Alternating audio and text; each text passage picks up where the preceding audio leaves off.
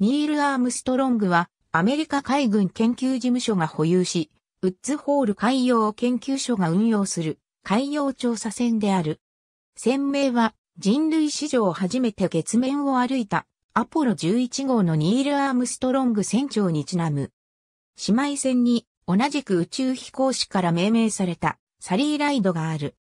1970年に収益した調査船クノールの代替船としてダコタクリークインダストリーズで建造され、2014年2月22日に浸水。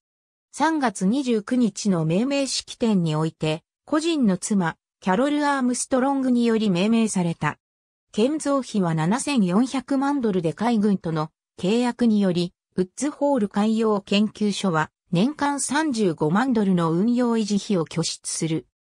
音響探査機器として最大水深1万1000メートルの海底を操作可能なマルチビームエコーサウンダ、海底下の地層を分析するサブボトムプロファイラ、海流の速度を3次元で計測する超音波流速計などを搭載。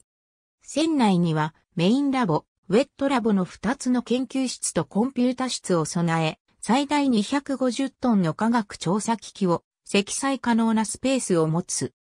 船尾の A フレームクレーンのほか、後部の作業甲板全体をカバーするクレーンと、右舷原則に観測機器を吊りした可能な同様保証クレーンを装備、全甲板にもポータブルクレーンを備える。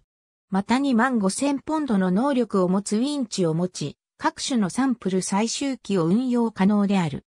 2016年6月に最初の国際調査の公開を行い、北、大西洋のイルミンガー海に配置された海洋観測イニシアチブの観測アレイを回収、配置した。ありがとうございます。